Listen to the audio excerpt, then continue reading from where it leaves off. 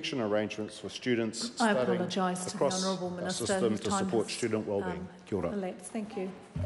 I call Sarah Dowie. Oh, thank you, Madam Speaker. Well, I rise to take a very short call in support of this education, tertiary education and other matters amendment bill, and in support because, of course, this is a National Party bill.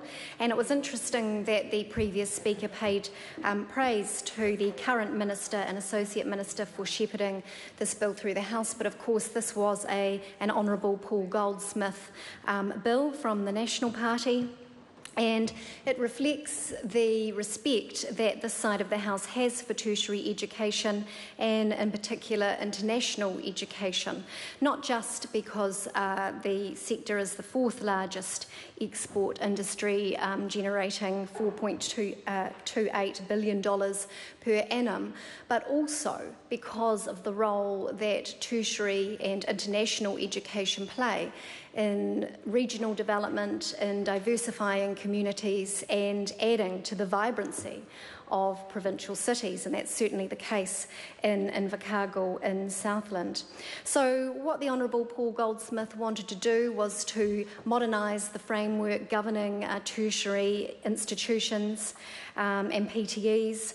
He wanted to make uh, the framework fit for purpose for the 21st century, to allow institutions to innovate and provide um, a better system for students to learn in and to gain qualifications that are fit for purpose in today's modern world.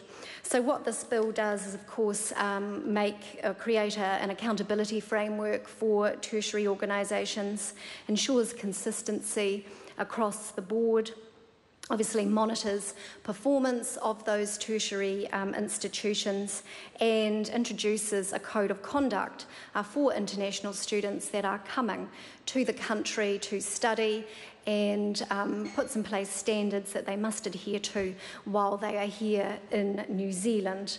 Um, as I said before, evolving the system um, to make it better not only for New Zealanders but also for those international students.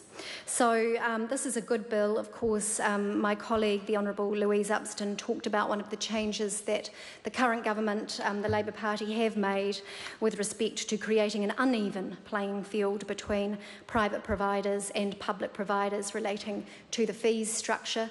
That is unacceptable from this side of the House and has resulted in the Honourable Paul Goldsmith's SOP um, to challenge this.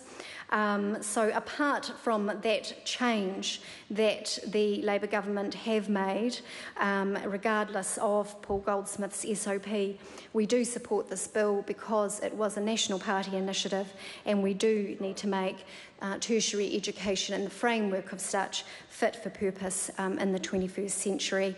This is my um, last contribution as the chair of the Education and Workforce Select Committee. I'd like to finish by thanking the current members and uh, saying that it is a very good committee um, and I wish them all the best moving forward with the uh, work stream that they do have um, in the workforce uh, section but also in the education sector.